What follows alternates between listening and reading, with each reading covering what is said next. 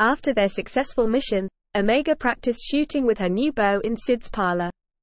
Omega was proud to hit 3 out of 12 shots, which Echo said was just luck and that she needed to keep practicing.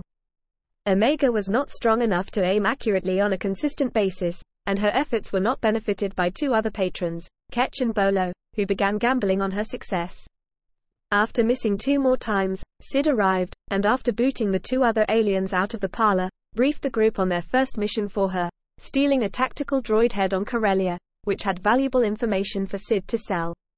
The group landed and infiltrated a facility that was scrapping battle droids.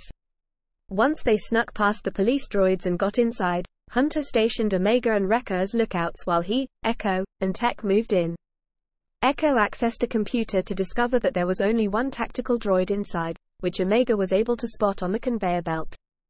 However, another individual disguised as a worker went in and stole the head.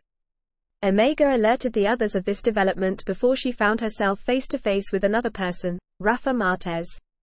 Omega quickly drew her bow, causing Rafa to freeze and put her hands up. However, Rafa convinced her to lower the bow and talk it out, and when Omega did, Rafa knocked the bow out of her hands.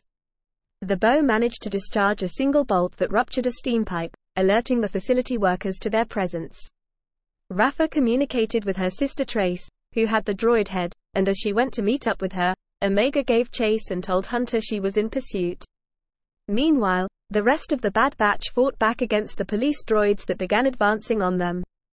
Omega followed Rafa, who eventually got the head from Trace, but ended up losing it onto another conveyor belt.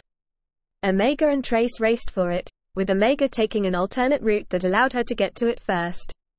As she fled from Trace, Echo shut down the power and caused the conveyor belt to stop, which made Omega trip and lose the head. As she became pinned underneath debris, Trace swooped in and reclaimed the head. However, as Omega remained trapped and neared the edge of the conveyor that would tip her into a fire, Trace and Hunter came to save her. The two groups decided to join forces to escape the growing number of police droids, with Trace and Tech using the tactical droid head to command the other droids that were going to be scrapped into an army to fight the police droids. However, as the group fled the building, the head was destroyed.